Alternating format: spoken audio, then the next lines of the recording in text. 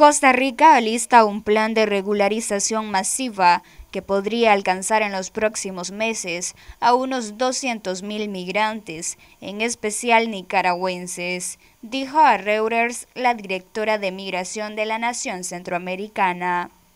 Las autoridades costarricenses prevén que en el 2022 las peticiones de refugio superarán las 80.000, por encima del récord del 2021 de casi 60.000 solicitudes, el 90% de ellas correspondientes a nicaragüenses. Hasta el año pasado, había alrededor de 400.000 nicaragüenses residentes en Costa Rica, un 7,6% de la población total del país de la acogida.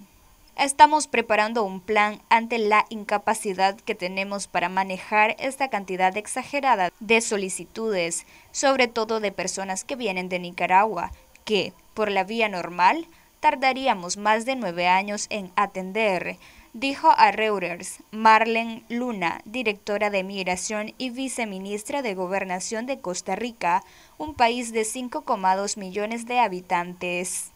Desde el periodo del 2018 al 2022, más de 180.000 nicaragüenses se mudaron a Costa Rica.